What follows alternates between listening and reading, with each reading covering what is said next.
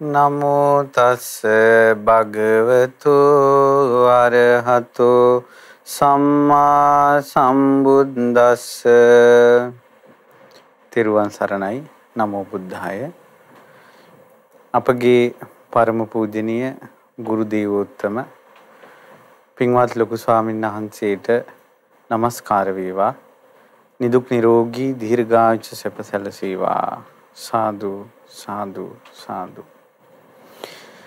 ශ්‍රද්ධාවන්ත පින්වත්නි අද සිට ඔබ අලුත් දහම් වැඩසටහනක් සමග එකතු වෙනවා.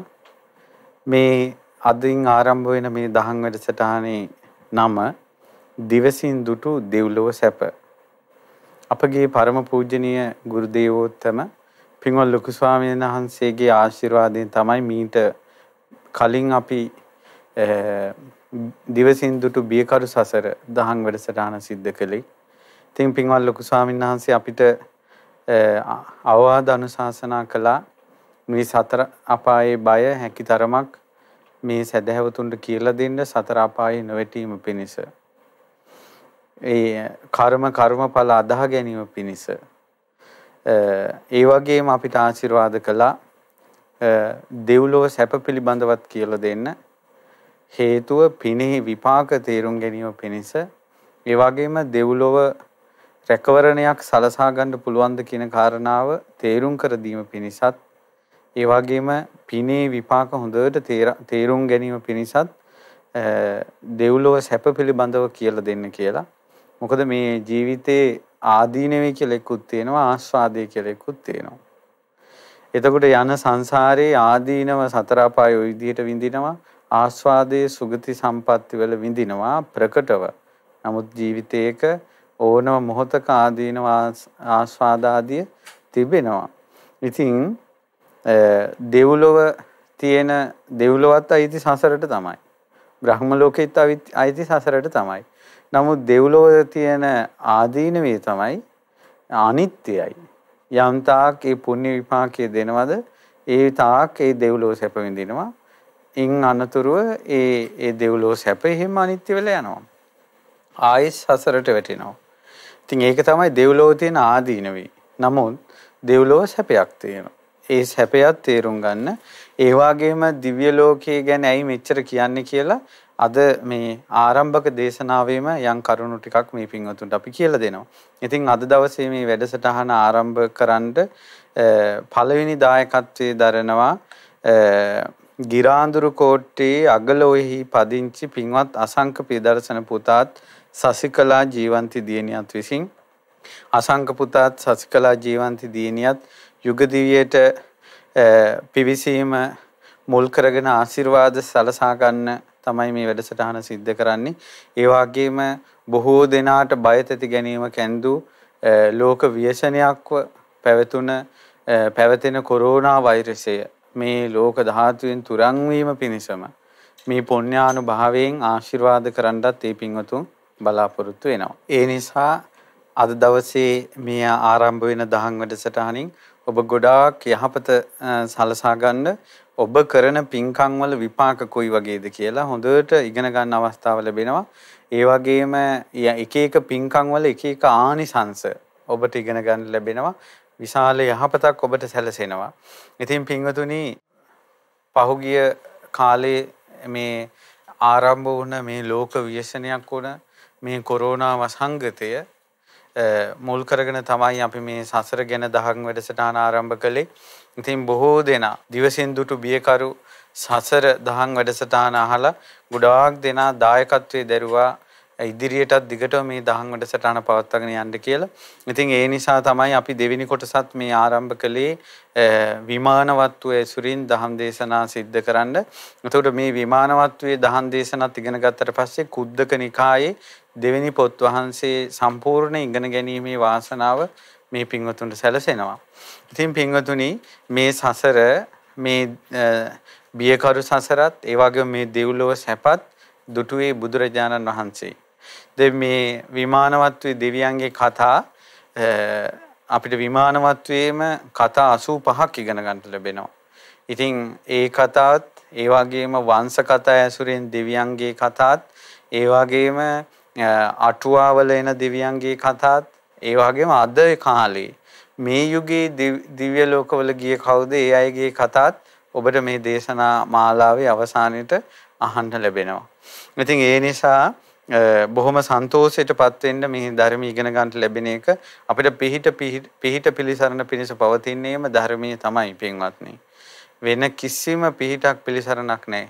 ඔබ දුටුවාද පහුගිය කාලේ මේ මිනිසුන්ට වුණ ව්‍යසනය. ඒ වගේම රොත්ත පිටින් මිනිස්සු මැරිලා ගිය හැටි. අසරණ වුණ හැටි. ඒ වගේම මිල මුදලින් ප්‍රශ්න විසඳගන්න බැරි වුණ හැටි. ඉතින් ඒ නිසා ජීවිතේ කාටත් අවසාන ඉතුරු වෙන්නේ ඉතුරු වෙන්නේ නම් ධර්මයේම විතරයි. තමන් කරගත්ත කුසලයක් අකුසලයක් තිබ්බොත් ඒකමයි තමන්ගේ නියමුවා බවට පත් වෙන්නේ. ඉතින් ඒක නිසා ඒ කරුණු කාරණා තේරුම් ගන්න. ඉතින් පින්වතුනි බුදුරජාණන් වහන්සේට මේ සසර ගමන දැකීමේ විශේෂ ඥානයක් තියෙනවා. මේ උපතින් උපතකට යන හැටි. ඒ පිළිබඳව බුදුරජාණන් වහන්සේ දේශනා කරපු දේශනාවක් මහා සිංහනහද සූත්‍රයේ තියෙනවා. බුදුරජාණන් වහන්සේ වදාලා පින්වත් සාරිපුත්ත තථාගතයන් වහන්සේට ඥානයක් තියෙනවා. මේ උපත ලබන ක්‍රම පිළිබඳව.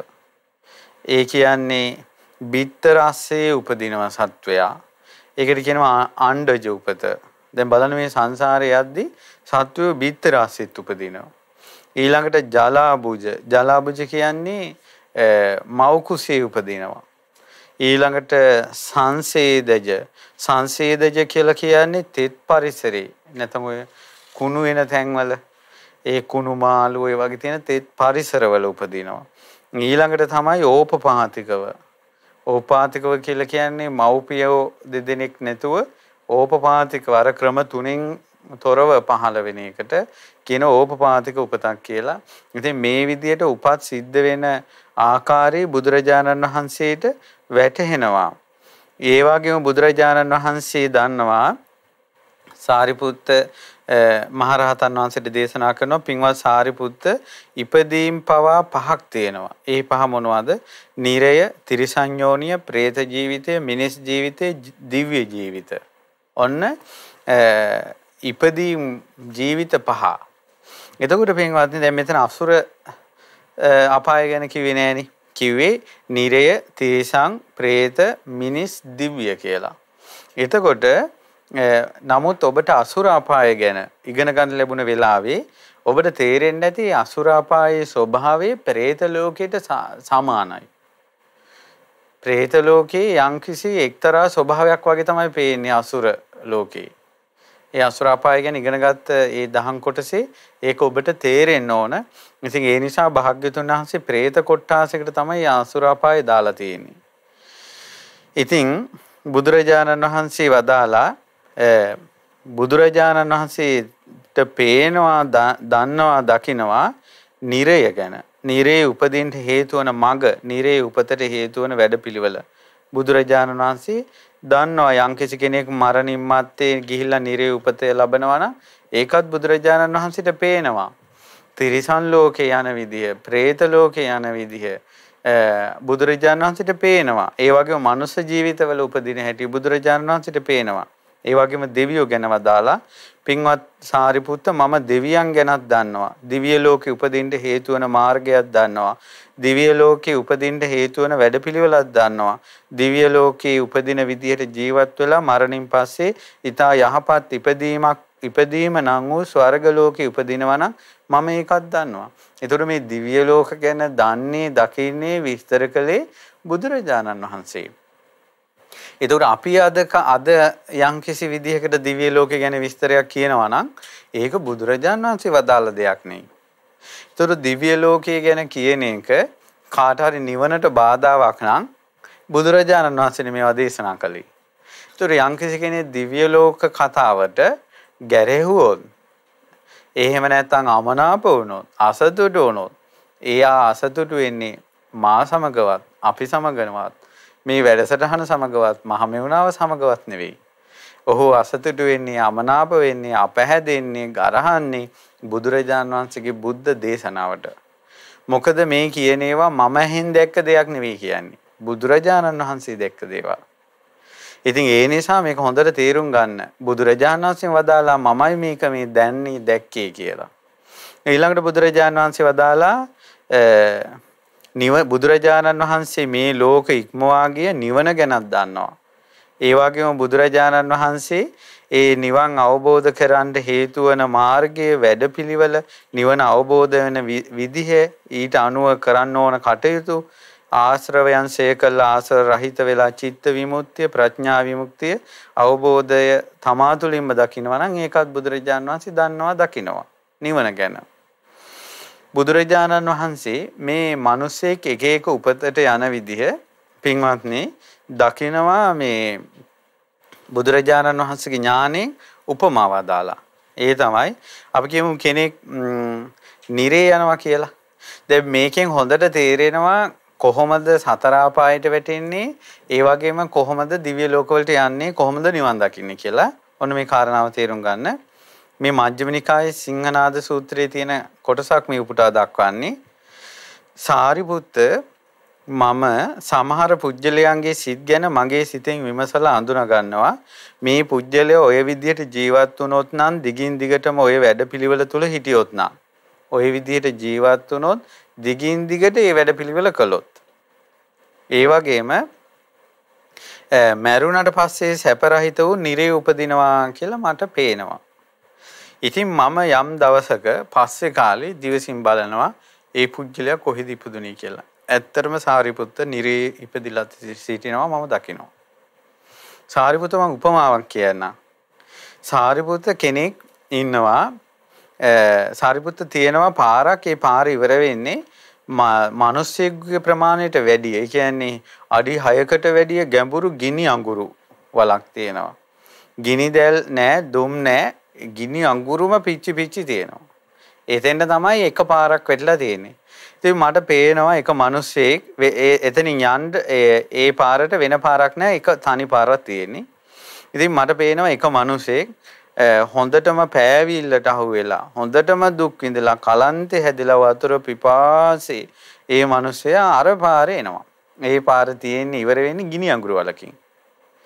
විශාල ගිනි අඟුරු වලකට තමයි ඒ පාරේ ගිය කෙනා වැටෙන්නේ.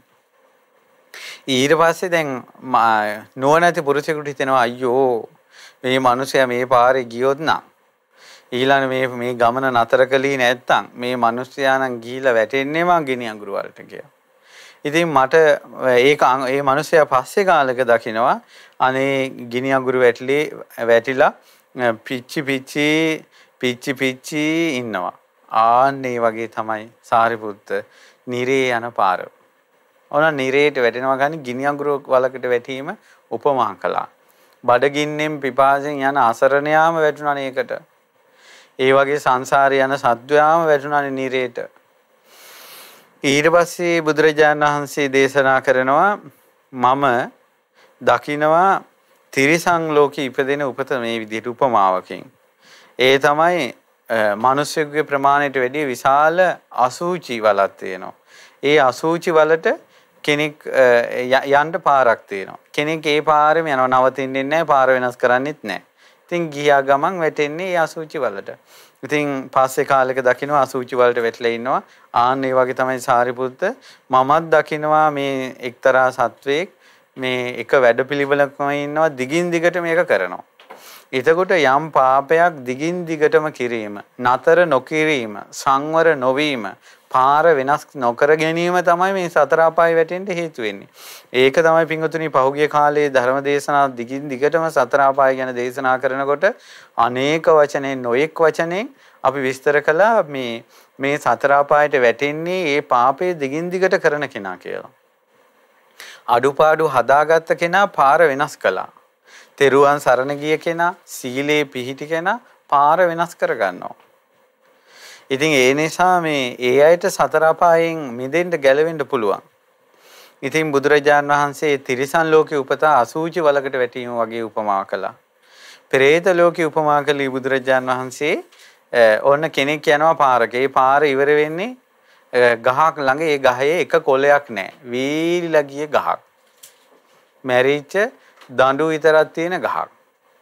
ඉතින් බඩගින්නෙන් පිපාසයෙන් පෑවිල්ලට අවුවෙලා මිනිස්සෙක් යනවා. ඉතින් අර පාරේ ගිහිල්ලා ඒ පාරේ ඉවර වෙන්නේ එතෙන්ද. ඉතින් මිනිස්සෙකුට හිතෙනවා මේකා ගියොත් නම් අර ගහ ළඟට තමයි යන්නේ. පස්සේ කාලේ දකින්න අර ගහට හිට වෙලා ඔහි ඉන්නවා. හැබැයි හේවණක් නැහැ, වැස්ස නැහැ, කණ්ඩ නැහැ, බොණ්ඩ නැහැ, මොකුත් නැහැ. හැබැයි අර අසූචි වලේ වැටුනේත් නැහැ. මේ අඟු ගිනි අඟුරු වලට වැටුනේ නැහැ. പ്രേත ලෝකේ වගේ. බුදුරජාන් වහන්සේ දැක්කා මේ මනුස්ස ලෝකෙ උපදින හැටි. ඒ තමයි හොඳ නිල් පාට කොළ තියෙන සීතල හෙවණ තියෙන විශාල නුග ගහක් තියෙනවා. එතකොට ඒ එතෙන්ට යන්න තියෙන පාර අර මේ එක පාරක් තියෙන. ඉතින් මිනිස්සෙක් බඩගින්නේ පිපාසයේ පෑවිල්ලට අහු වෙලා යනවා. ඉතින් ඒ මිනිසයාට ඉතින් යන් සැපක් තියෙනවා අර නුග ගහ ළඟ. ඇයි නුග ගහ යට සීතලයි, හෙවණයි යන් සැපක් තියෙනවා. නමුත් මේ මිනිසයාගේ ඇත්තටම තියෙන්නේ බඩගින්න පිපාසයේ 1000. ඉතින් ඇත්තටම බලන්න අපි මනුස්ස ලෝකෙට ආවා. එතකොට අපිට තියෙන ප්‍රශ්න ටික නේද මේ රාග ගින්න, ද්වේෂ ගින්න, මෝහ ගින්න, අවිද්‍යාව, තෘප්තිමත් නොවීම. ඉතින් අපි ගෙවල් දොරවල් හදාගෙන යාන වාහන තියාගෙන දරු මල්ලන් සමග ඔබ සිටිනවා.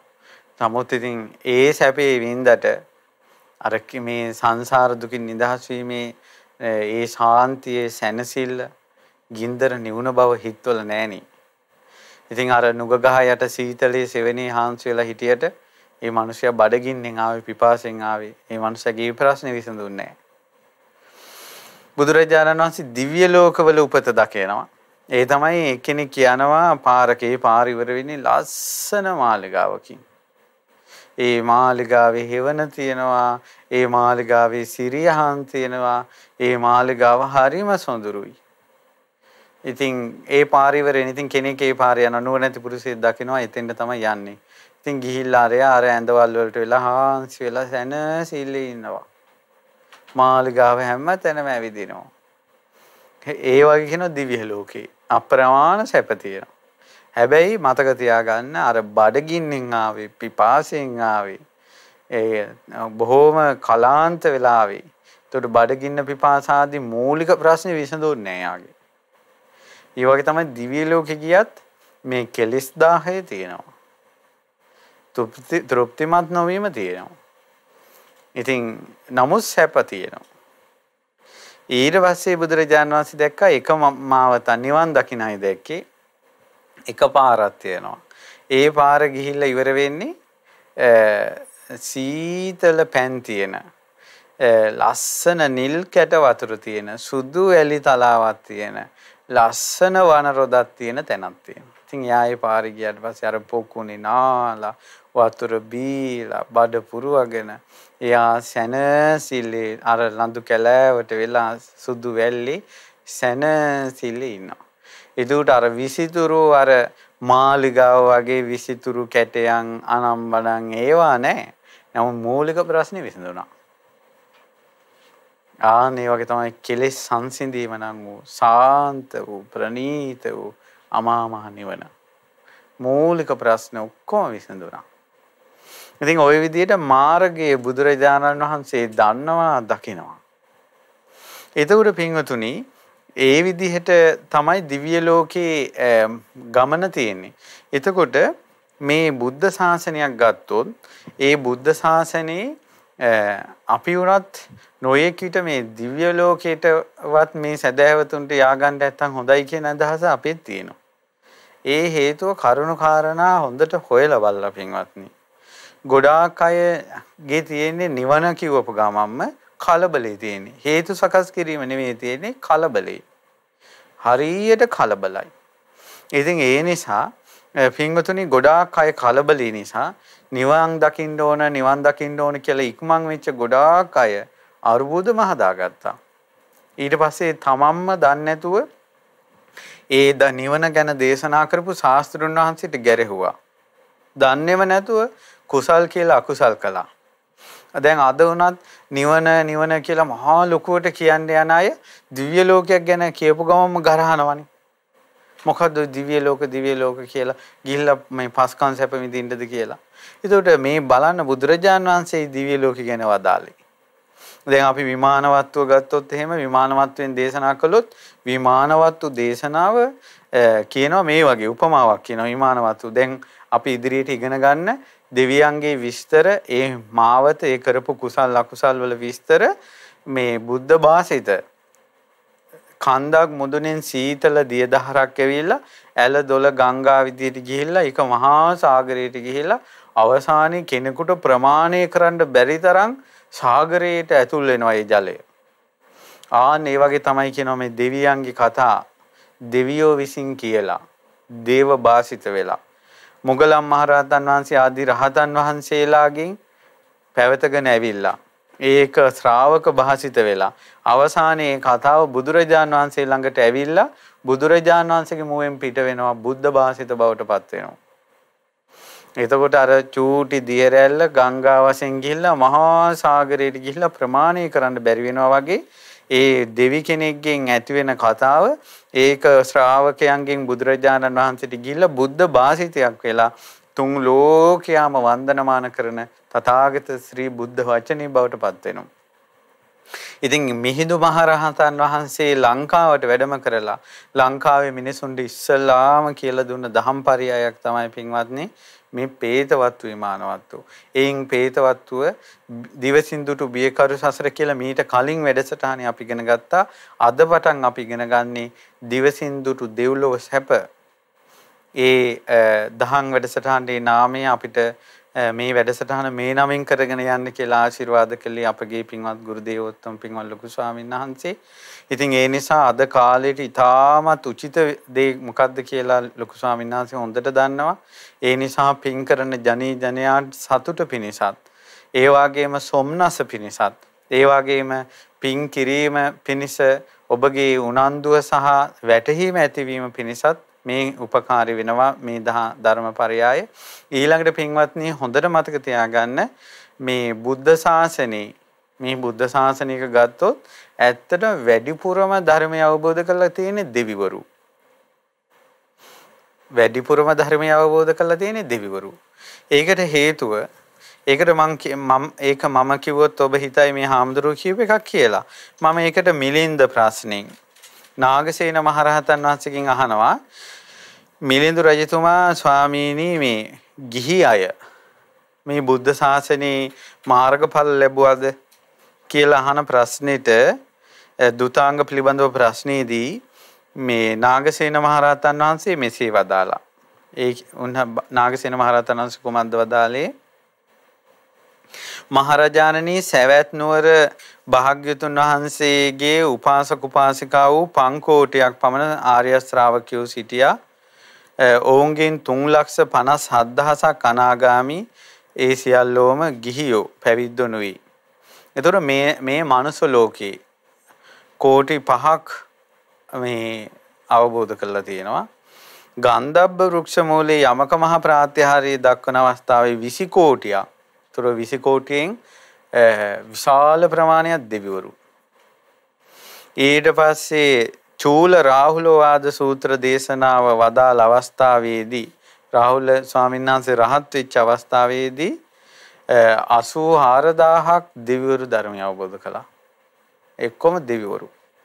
මහා මංගල සූත්‍ර දේශනාව වදාළ අවස්ථාවේදී සමචිත්ත පරියාය දේශනාව වදාළ අවස්ථාවේ පරාභව සූත්‍ර දේශනාව වදාළ අවස්ථාවේ පුරා බෙහෙද සූත්‍ර දේශනාව වදාළ අවස්ථාවේ කලහ විවාද සූත්‍ර දේශනා වදාළ අවස්ථාවේ චූල විහුහ සූත්‍ර දේශනා වදාළ අවස්ථාවේ මා විහුහ සූත්‍ර දේශනා වදාළ අවස්ථාවේ තුවටක සූත්‍ර දේශනා වදාළ අවස්ථාවේ සාරිපුත්ත සූත්‍ර දේශනා වදාළ අවස්ථා අවස්ථාවේ ගණනාතික්‍රාන්ත වූ දෙව් පිරිසට ධර්මය අවබෝධ වුණා. එතකොට ඔය සූත්‍ර දේශනාවල් කරනකොට මාර්ගඵල ලැබු දෙවිවරු ප්‍රමාණය ගණනාතික්‍රාන්තයි. ගණනින් කියන්න බෑ. ගණනින් කියන්න බෑ. මනුස්ස ලෝකයේ ධර්මය අවබෝධ කරව මිනිස්සු ගණ කියන්න පුළුවන්. මහරජාණන් රජගහනුවර භාග්‍යතුන් වහන්සේගේ දැන් ඔය සැවැත් නුවරදී වෙච්ච දේවා. මේ මහරජාණන් රජගහනුවර භාග්‍යතුන් වහන්සේගේ උපාසක උපාසිකා වූ ආර්ය ශ්‍රාවකයෝ 3 ලක්ෂ 50 දහසක් සිටියා. ඔන්න රජගහනුවර.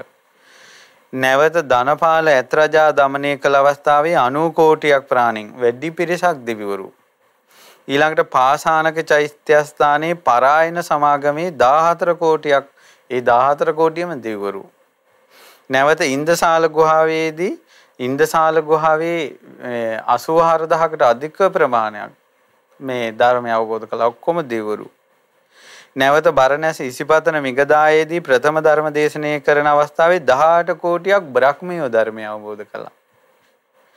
පමන කළ නොහැකි දෙවියෝ එදා පළවෙනි ධර්ම දේශනාවේ ධර්මය අවබෝධ කළා ගණන් කළ නොහැකි දෙවිවරු.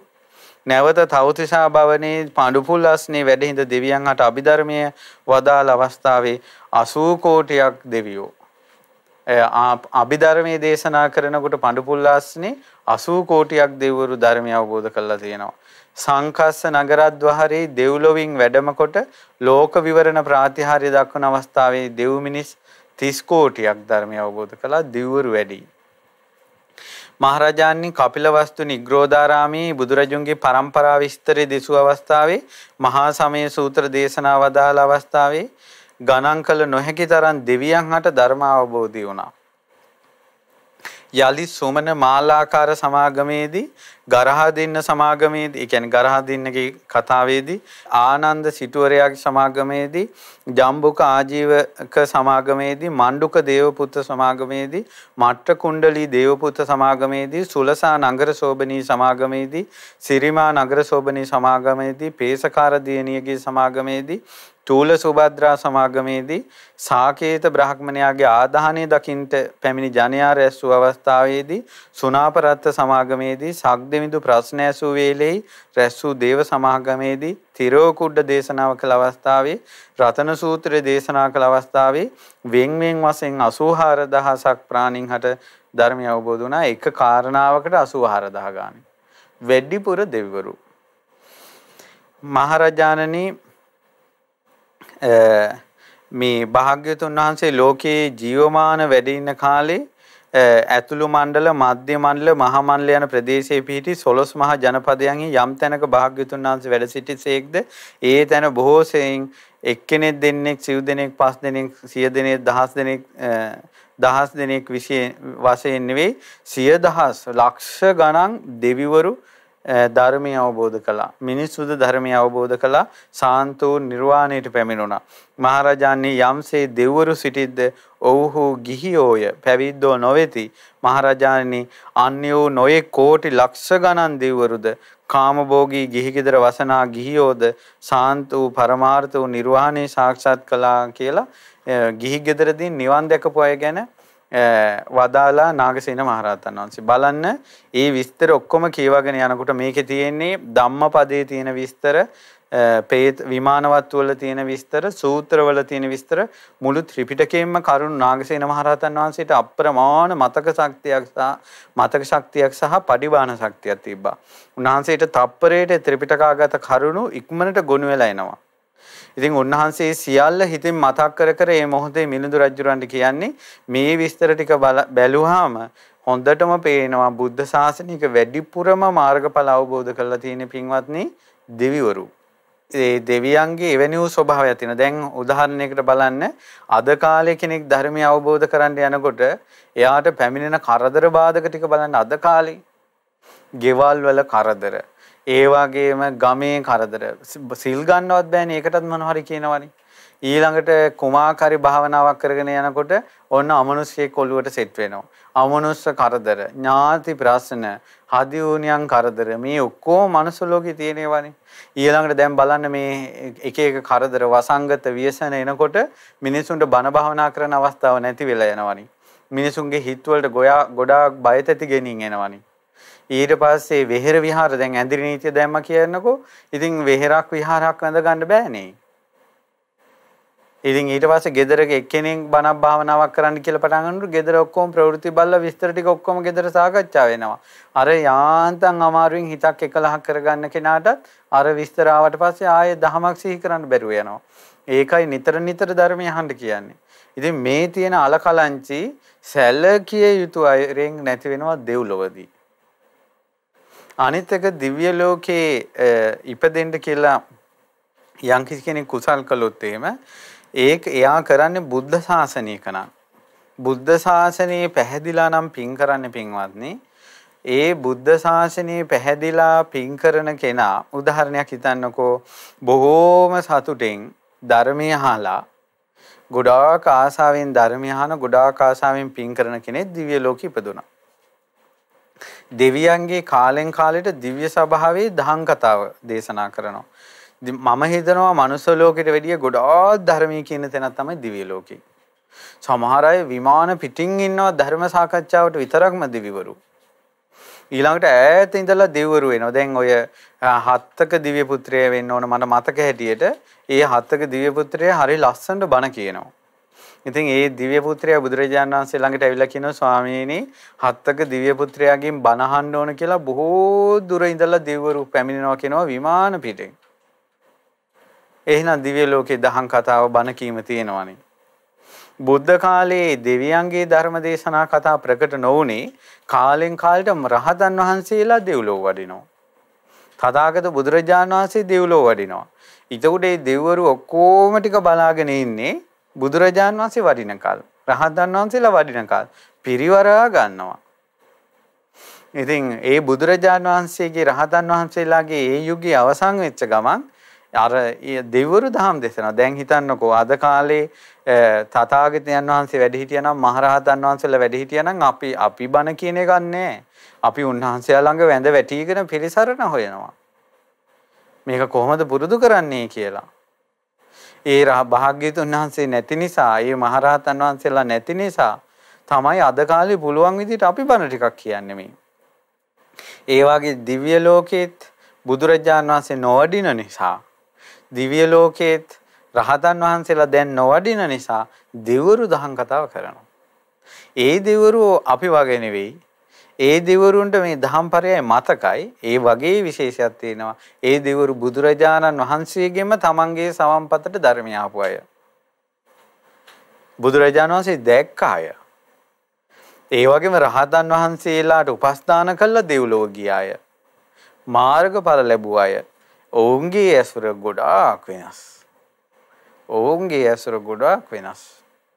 අන්න ඒ සම්පත්තිය දකින නිසා ඒ යහපත 100ට 100ක් දකින නිසා තමයි දෙව්ලොව හොඳයි කියන වචනේ නිතර පිට වෙන්නේ.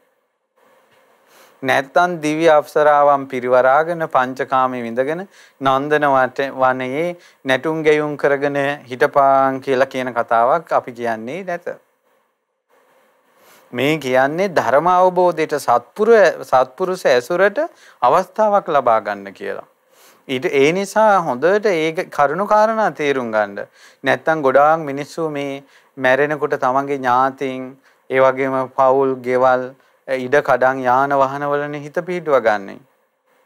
දැන් පහුගිය කාලේ කොරෝනා රෝගීන් මැරෙනකොට එයාලා වීඩියෝ කෝල් අරන් ස්කයිප් මේ මේ කෝල් අරගෙන තමන්ගේ ගෙදර ඉන්න ඥාතින් එක්ක කතා කර කර ආය ඔයාලා මට දකින්න ලැබෙන්නේ නැහැ කියලා කොච්චරනම් මේ මරණයේ පෙනිපෙනි ජීවත් වෙලා ඉන්න අය ගැන හිත පිහිටවගෙනද ගොඩක් අය මැරුණේ.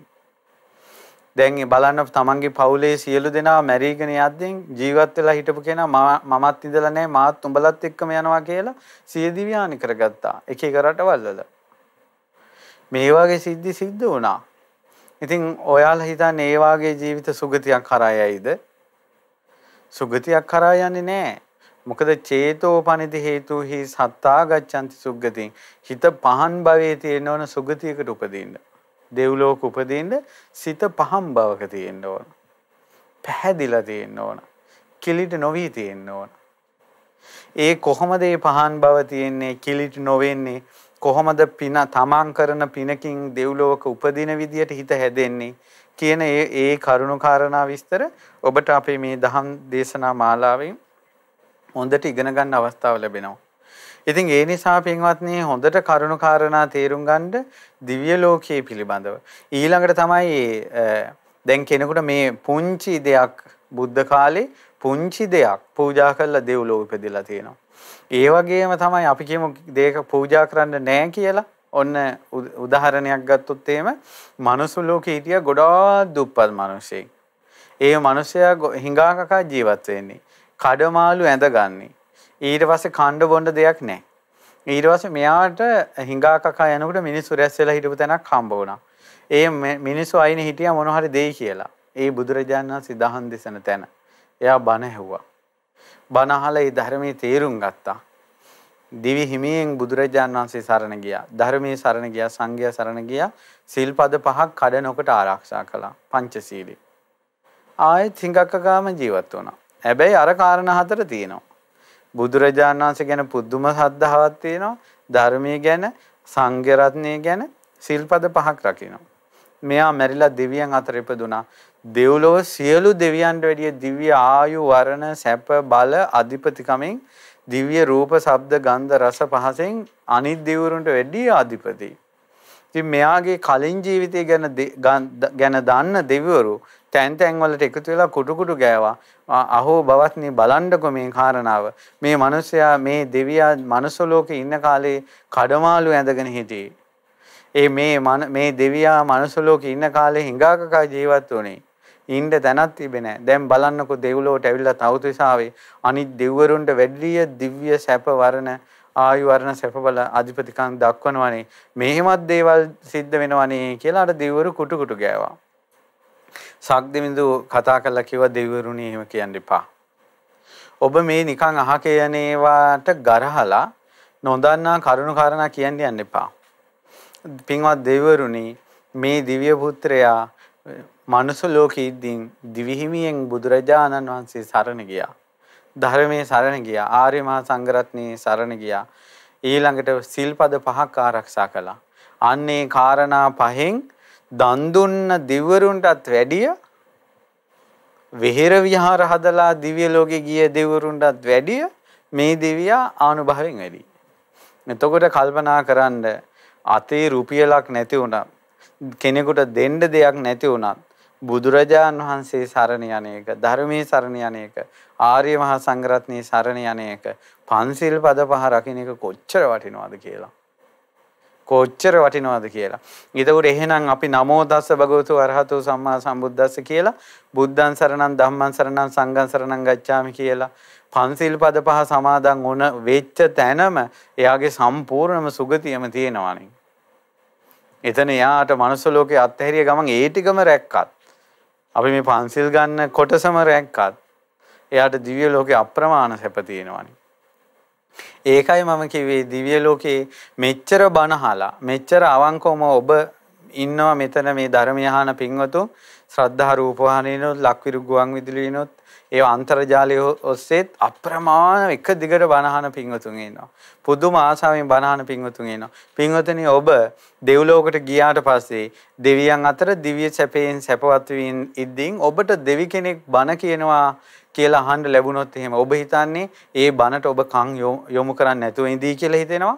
මෙච්චර ලංකාවේ මෙච්චර මනුස්ස ජීවිතේ මෙච්චර බනහලා දෙවියෝ අතරට ගියාට පස්සේ ඒ පින් බලෙන් බනහන් නැතු ඉඳී අනිවාර්යෙන් බනහනවා.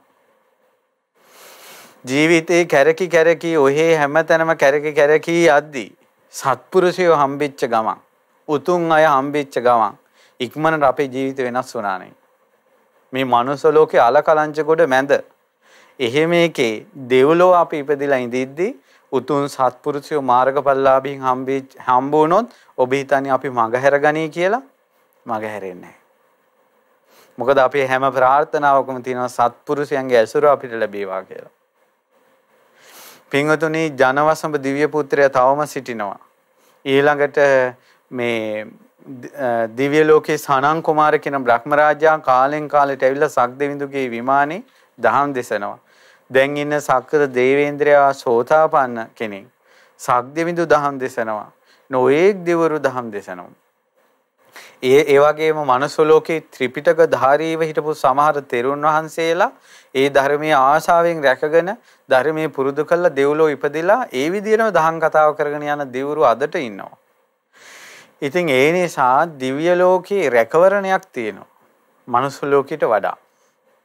අපි ඊළඟ තැන බලන්න එපෑ. මනුස්ස ලෝකෙට වඩා. ඒ නිසා පුළුවන් අය එක දිගට මේ දහම පුරුදු කරන්න, ඒ වගේම පින් දහම් රැස් කරන්න, කුසල් දහම් රැස් කරගන්න, දෙව්ලොව තියෙන සැපය ගැන කල්පනා කරන්න. ඊළඟට කල්පනා කරන්න මේ බුදුරජාණන් වහන්සේගේ ශාසනයකනේ පින්වතුනි අපි පින් දහම් රැස් කරන්නේ. මේ ගොඩාක් පින් කරන්නේ බුද්ධ ශාසනයක. බුද්ධ ශාසනය රැස් කරගන්න පින පින්වතුනි බුද්ධ ශාසනයකම තමයි විපාක දෙන්නේ. ඒකට මම උපමාවක් කියන්නම්. පින්වතුනි ඔන්න කෙකිනියක් ඉන්නවා. මේ කෙකිනිය මේ ගැප් ගන්නේ මේ කෙකිනිය පැටව් ලැබෙන විදිහට ඒ කෙකිනිය ගැප් ගන්නේ කොකෙක් එක්ක එකතු වෙලා නෙවෙයි. කෙකිනිය ගැප් ගන්නේ වලාකුළු හඬට. ඒ කියන්නේ මේඝ ගර්ජනා විදුලි කොටන හඬට. විදුලි කොටන හඬට තමයි කෙකිනිය ගැප් ගන්නෙ. ඊට පස්සේ දැන් කෙකිනිය ගැප් ගත්තට පස්සේ ගැබ මෝරනවා. මෝරලා පින් පින්වතුනි එහෙම කෙකිනිය එහෙම වදන්නේ කෙකිනිය වදන්නේ ආයෙත් මේඝ ගර්ජනාවක් ඇහෙන්න ඕන. විදුලි කොටන හඬක් ඇහෙන්න ඕන. එතකොට කෙකිනිය ගැප් අරන් අවුරුදු 10ක් මේ විදුලි කොටලා වැස්සක් ආවේ නැත්තම් වදන්නේ බිහි කරන්නේ එතකොට යම් දවසක මේක ගර්ජනාවක් කරනවාද එදාට තමයි වදන්නේ. ඈ ගැප් ගන්නෙත් මේක ගර්ජනාවෙන්. වදන්නෙත් මේක ගර්ජනාවෙන්. ආන්න ඒ වගේ තමයි කියන උපාලි මහරහතන් වහන්සේ දේශනා කරනවා මේ බුද්ධ ශාසනයේ අපි මේ පිහිටව ගන්න චේතනා ප්‍රාර්ථනා මෝරා මෝරා තියනවා කියනවා. ඒක මේ වෙන ලෝකවල ඉපදුනා කියලා එක එක්කෙනත් එක එකතු වුණා කියලා ඒක නැසෙන්නේ නැහැ ඒක වෙනවම තියෙනවා. යම් දවසක බුදුරජාන් වහන්සේ නමක් ශ්‍රාවකයන් වහන්සේ නමක් ධර්මයේ දේශනා කරන තැනක් සත්පුරුෂයෙක් මොන මොන ගැහිච්ච ගමන් බුද්ධ ශාසනය කරපු පින විපාකෙට එනවා. ඒ නිසා මනුස්ස ලෝකේ අපි දැන් පින් කරගන්නේ කුසල් කරගන්නේ බුද්ධ ශාසනේ. බුදුරජාන් වහන්සේ විනිවිද සෑය බෝධිය මුල් කරගෙන ඒ වගේම ධර්මය අහ අහ ඒ වගේම සංඝයාට අපෝපස්ථාන කර කර අපි පින් කරගන්න. ඊළඟට අපේ අඩුපාඩු බණපද අහ අහ අපේ අඩුපාඩු හදාගෙන ධර්මයේ නිසා අපි පංචශීලී හදාගෙන ඒ වගේම අපි සීල් ගුණ දන් රැකලා මේ අඩුපාඩු හදාගෙන කුසල් පින්දහම් රැස් කරගන්නේ බුද්ධ ශාසනය නිසාමයි. අපිට මේවා උරුම වුණේ මව්ගෙන් පියාගෙන් පරම්පරාවෙන් නෙවෙයි බුද්ධ ශාසනයෙන් අපිට ආවේ මේ පින් ටික කුසල් ටික. එහෙනම් මේක විපාක දෙන්නේ බුද්ධ ශාසනයකමයි. එහෙනම් දෙව්ලෝ ඒක හොඳට දන්න නිසා සත්පුරුෂයෝ මේ කාරණාව දන්නවා. ඒ නිසා තමයි කියන්නේ බුද්ධ ශාසනික පින් කරගෙන දෙව්ලොවට යන්න. බුද්ධ ශාසනික පින් කරගෙන දෙව්ලොවක ඉපදුනාට පස්සේ ඒ දෙව්ලොවදී තමන් මනුෂ්‍ය ජීවිතේ රැස් කරගත්ත ඒ ශාසනික පුණ්‍ය ධර්මයන් ඒ දෙවියන්ගේ සත්පුරුෂ ඇසුරේදී දහම් කතාව ඉදිරියේදී ඔහුට විපාක පිණිස එනවා. සමහර අයට ධර්මය අවබෝධ වෙන්නේ මනුස්ස ලෝකේ නෙවෙයි පින්වතුනි. එයාලට ධර්මය අවබෝධ වෙන්නේ දෙව්ලොවදී. උදාහරණයක් ගත්තොත් එහෙම මට්ට කුණ්ඩලී දිව්‍ය පුත්‍රයාට බුදුරජාණන් වහන්සේ ඇසුරු කරගෙන දහම් කතාවෙන් පිළිසරණ ගන්න පුළුවන් වුණේ මනුස්ස ලෝකේ නෙවෙයි. එහෙනම් අර බීම වැටිලා ඉන්නකොටම බුදුරජාණන් වහන්සේ ධර්මයේ දේශනා කරනවානේ. නෑ ඔහුට දෙව්ලොව ඉපදෙන්න සිද්ධ වුණා. කාන්තක අස්සය දෙව්ලොව ඉපදුනා. ඊට පස්සේ සෝවාන් වුණේ. චත්තමානවකට මනුස්ස ලෝකෙ ඉතින් බුදුරජාන් වහන්සේ දේශනා කළේ චත්තමානවක මේ තුනුරුවන් සරණ සජ්ජහනා කර කර යන්න. යෝ අද තම් පවරෝ මනුජීසු. ඊළඟට මේ සිල්පද පහ රකින්න අදිෂ්ඨාන කරගන්න. එතකොට එයා පංචශීලයේ අදිෂ්ඨාන කරගෙන අර ගාථා තුන කිය කිය ගියා. ඒකට තමයි හොරු ගහලා මැරුණේ. ඔහු දෙව්ලොව උපන්නා. ඊට පස්සේ දෙවියෙක් විදිහට ආවට පස්සේ දේශනා කරපු ධර්මය අහලා තමයි සෝවන් වුනේ. ඉතින් බුදුරජාණන් වහන්සේට තිබුණානේ අර මුලින්ම දේශනා කරන්න. සමහර අයට ධර්මය අවබෝධ වෙන්නේ නැහැ මනුස්ස ලෝකයේ. ඔහුට ධර්මය අවබෝධ වෙන්නේ දෙව්ලොවදී. එහෙම එකකුත් තියෙනවා පින්වත්නි. තවත් ඕන තරම් තියෙනවා. එක ස්වාමීන් වහන්සේ නමක් අච්චරා සූත්‍රය ගත්තොත් එක ස්වාමීන් වහන්සේ නමක් ගොඩාක් ධර්මයේ හැසිරෙනවා. මනුස්ස ලෝකේ ගොඩාක් ධර්මයේ පුරුදු කරනවා. ඉතින් ඒ ඒ ස්වාමීන් වහන්සේ සක්මන් කරද්දීම නාරයක් පුපුරලා අපවත් වුණා එහෙම. ඒ ස්වාමීන් වහන්සේවත් දන්නේ නැහැ උසුම හිර වුණා එහෙම පිරිනවා. අපවත් වුණා. දෙව්ලොව ඉපදුණා. ඉතින් දෙව්ලොව ඉපදිලා දෙවරු පිරිවරා ගනිද්දී ඒ දෙවියා දැනගත්තා මම මේ දැන් දිව්‍ය ලෝකයකට ඇවිල්ලා ඉන්නේ අම්මෝ මං නිවන් දකින්නයි මගේ කැමැත්ත තියෙන්නේ කියලා ඒ මොහොතේ මෙතනින් අතුරුදහන් වෙලා බුදුරජාන් වහන්සේ ළඟ පහළ වුණා. පහළ වුණාට පස්සේ බුදුරජාණන් වහන්සේ ධර්මයේ දේශනා කළා. ඒ ධර්මයේ දේශනා කරනකොට තමයි ඒ දෙවියා සෝවන් වුනේ. අර ස්වාමීන් වහන්සේ එහෙනම් බුදුරජාණන් වහන්සේට සෑම දෙයක්ම පේනවා දකින්නවනේ. දවසට බුදුරජාණන් වහන්සේ ශ්‍රාවකයන්ගේ හිත හය වතාවක් දකිනවා. ඉතින් කෙනෙක්ගේ ඉන්ද්‍රියම් මෝරලා නම් ඊළඟ පොඩ්ඩක්වත් සසරේ ප්‍රමාද වෙන්න දෙන්නේ නැහැ බුදුරජාණන් වහන්සේ. ඉරිදියෙන් ආලෝකයක් එවලා හරි ඔහුව සසර දුකින් නිදහස් කරනවා. උදේ බුදුරජාණන් වහන්සේ දන්නවා සමහර අයට ධර්මය අවබෝධ වෙන්නේ දෙව්ලොව උපදිද්දී. ඉතින් ඒ නිසා පින්වත්නි එහෙම එකක් තියෙනවා. ඉතින් ඒ කරුණු කාරණා තේරුම් ගන්න ඊළඟට මේ ජීවිතයේදීම ධර්මය අවබෝධ කරන්න කෙනෙකුට සෝවාන් වෙන්න සකදාගාම වෙන්න අනාගාම වෙන්න අරහත් වෙටපත් වෙන්න මේ ජීවිතයේදීම පුණ්‍ය සංස්කාර සහ නුවණ තියෙනවා නම් ඒ අය තර්ක විතර්ක කර කර ඉන්නේ ඒ අය අනිත් අයට ගරහ ගරහ ඉන්නෙත් නැහැ. ඒ අය දන්නවා ඒක පුරුදු කරන විදිහ. ඒ වගේම එයාලා මේ බුද්ධ ශාසනයේ තියෙන බුද්ධ වචනය එහෙම හැල්ලුවට ලක් කරන්නේ අද කාලේ මේ ජීවිතේදීම නිවන් දකින්න ඕන කියන කට්ටිය කොච්චර දෙව්ලොවට ගරහනවද? කොච්චර පින්වලට ගරහනවද? කොච්චර ස්තූප පූජාවල් වලට ගරහනවද? කොච්චර බෝධි වන්දනා වලට ගරහනවද?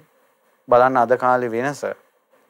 ඉතින් ඒ කාරණාවෙන්ම තේරෙනවා මේ අයට නම් මේ ජීවිතේ නෙවෙයි ඊළඟ ජීවිතේකවත් නම් නිවනක් නෑ කියලා.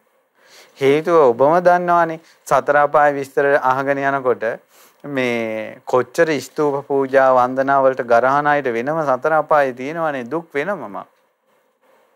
ඉතින් ඒ නිසා මේ කරුණු කාරණා තේරුම් ගන්න. ඉතින් මූලික වශයෙන් තමයි පින්වත්නි අද දවසේ ওই කරුණු කාරණා ටික විස්තර කළේ මේ වැඩසටහන ආරම්භයත් එක්ක.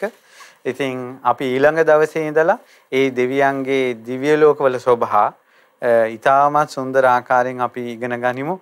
ඉගෙනගෙන ඒ දිව්‍ය සැප ගැන සතුට ඇති කර ගනිමු. ඒ වගේ විශේෂයෙන්ම ඒ කුසල් අකුසල් ගැන තේරුම් ගමු.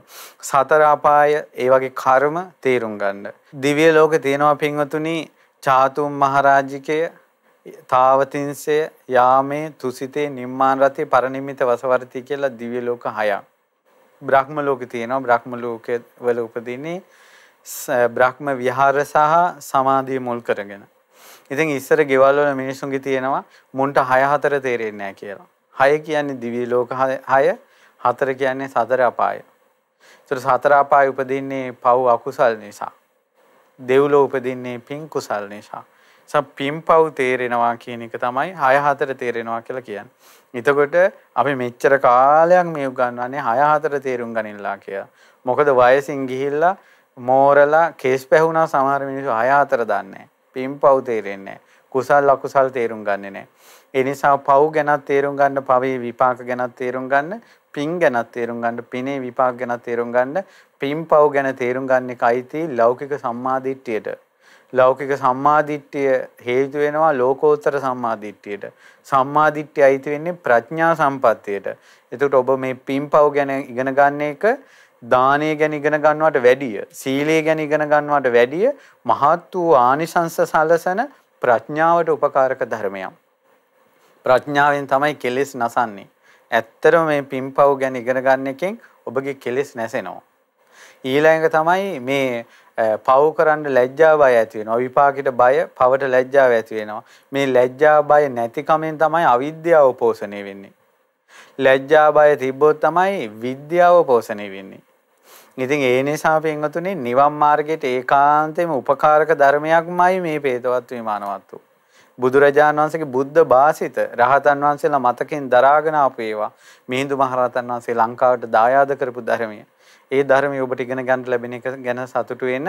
ඉතින් ඒ නිසා ඔබ ඔබ සියලු දෙනාට මේ පින් බලයෙන් සුගති සම්පත්තිය ගෞතම සසුනේ පිහිට සැලසේවා කියලා එක හිතින් ආශිර්වාද කරනවා.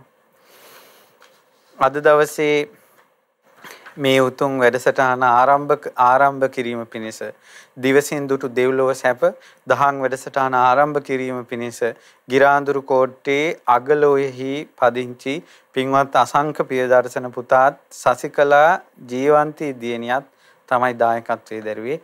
ඉතින් මේ දරුවන් විශාල පිනක් රැස් කරගත්තා.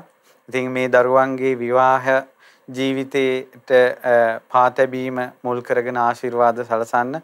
ඒ නිසා මේ දෙව්ලොව ගමන ගැන මේ සොඳුරු කතාවට ආරම්භක වැඩසටහන කිරීමම ඔබගේ සොඳුරු ජීවිතයට ඔබගේ පින් කුසල් ජීවිතේ පින් කුසල් රැස් කර ගැනීම පිණිස උපකාරක ධර්මයක් වෙනවා නියතයි. ඉතින් ඒ නිසා අපි සෙත් ප්‍රාර්ථනා කරන ඔයාලා දෙන්නගේ ජීවිතේ පින්බරව ගෙවේවා කියලා සෙත් ප්‍රාර්ථනා කරමින් අපි පින් අනුමෝදන් කරමු. අපි රැස් කරගත්ත සියලුම පින් සියලු දෙවි දේවතාවුන් වහන්සේලාට අනුමෝදන් වෙත්වා.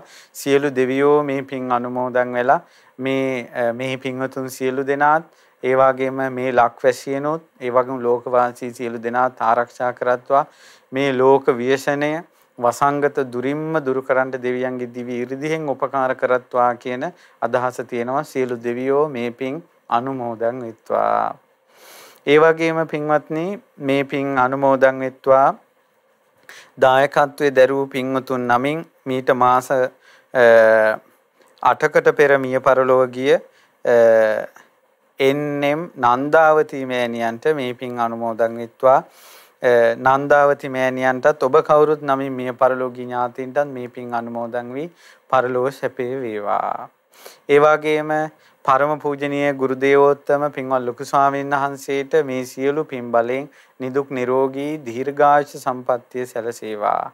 පින්වත් ලොකු ස්වාමීන් වහන්සේ ඇතුළු ලක්වැසි ලෝවැසි සියලුම සංගරුවනටත් අනගාരികා මෑණිවරුන්ටත් පැවිදි අපේක්ෂක දූපතුන්ටත් මේ පින් අනුමෝදන් වී ගෞතම සසුනේ ධර්මාවබෝධයම සැලසේවා. ඒ වගේම පින්වත් අසංක පිය දර්ශන පුතා ගිරාඳුරු කෝට්ටේ අගලෝය ඒ වගේම සසිකලා ජීවන්ති දියණියට මේ පින් අනුමෝදන් වී ඒ දරුවන්ගේ යුග දිවියට මේ පින් බලයෙන් සෙත් ප්‍රාර්ථනා වේවා. මේ දරුවන්ට ජීවිත ඒකාන්තයෙන් තුනුරුවන් සරණින් පින් බලයෙන් සාර්ථක වේවා පින්බර වේවා. ඒ වගේම පින්බර දුවා දරුවන් ලැබේවා. මේ දරුවන්ට ධර්මයේ පුරුදු කරගන්න ලැබේවා කියලා සිත ප්‍රාර්ථනා කරනවා. ඒ වගේම සිත ප්‍රාර්ථනා කරනවා මහමෙවුනා අසපුයේ අනගාരിക සසික ඉසාර පින්වත් සොයුරාට ඒ පැවිදි ජීවිතේට මේ පින් ඒකාන්තයෙන්ම උපකාර වේවා කියලා සහෝදරයා විසින් ඒ වගේම සුජීවත්ව සින්න පින්වත් මෑණියන්ට පියාණන් දෙපළට සහෝදර සහෝදරියන්ට ධර්මාවබෝධයේ පිණිස මේ පින් උපකාර වේවා කියලා පින් පමුණවනවා. ඒ ආකාරයෙන් මේ සියලු පින් අනුමෝදන් වෙත්වා. ඒ වගේම ශ්‍රද්ධා රූප වාහනේ ලක්විරු ගුවන් විදුලියේ ධර්මදායකත්ව සලසන සියලු දෙනාටත් ඒ වගේම මේ මාධ්‍ය පවත්වා ගැනීමට ආධාර උපකාර කරන සියලු දෙනාටත් කාර්ය මල්ලේ සියලු දෙනාටත් පින් අනුමෝදන් වේවා. හැදු වැඩු දෙමව්පියන්ට අකුරු කර වූ ගුරුවරුන්ට ඔබ සියලු දෙනාට ඥාති බන්දු මිත්‍ර ආදීන්ට මේ පින් අනුමෝදන් වී මේ රැස් කළ ධර්මයේ ශ්‍රවණය කරලා ධර්මයේ බෙදා හැරලා පින් කුසල් ගැන අහලා බුද්ධ වචනේ ගැන අහලා රැස් කරගත්ත සියලුම පින් බලෙන් සුගති රැකවරණයක් අමා නිවනත් සැලසේවා කියලා පින් පමුණවනවා. තෙරුවන් සරණයි. නමෝ බුද්ධාය.